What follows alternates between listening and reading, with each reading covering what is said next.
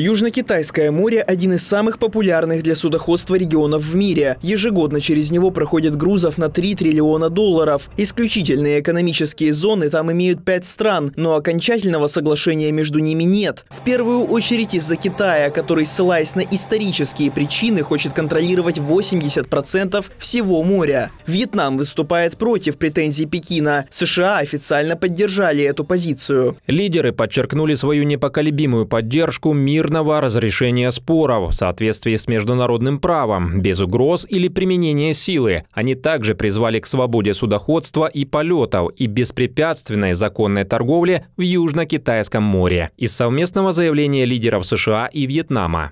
Из-за агрессивной политики Пекина коммунистический Вьетнам сближается с Вашингтоном. По словам экспертов, в первую очередь это стоит рассматривать как очередной ход США в торговой войне с КНР. Из-за действий китайского правительства и растущей политической напряженности американский бизнес переводит производство в другие страны региона. Правительство штатов делает все, чтобы облегчить этот процесс. Таким образом, укрепляются связи с соседями КНР, а китайская экономика терпит убытки, на что влияют и экспорт экспортные ограничения, введенные США.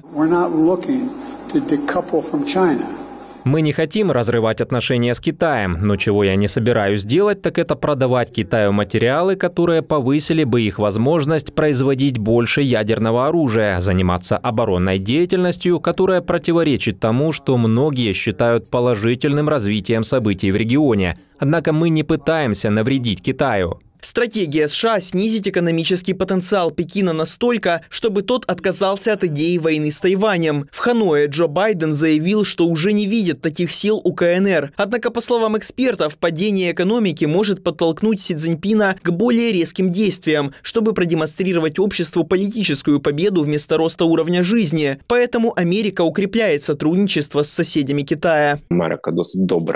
Америка достаточно хорошо насыщает себя новыми партнерствами в регионе. То есть можно сказать, что та первая островная цепь, цепь безопасности, согласно доктрине Соединенных Штатов, простирающаяся от Курильских островов, оккупированных, она фактически находится под контролем США и их единомышленников.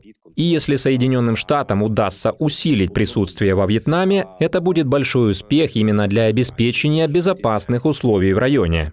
Военный флот и авиация Китая регулярно демонстративно совершают маневры вблизи Тайваня. Так, 11 сентября китайский авианосец с группой боевых кораблей прошел в 100 километрах от юго-восточного побережья Тайваня. Данила Кобза для телеканала Freedom.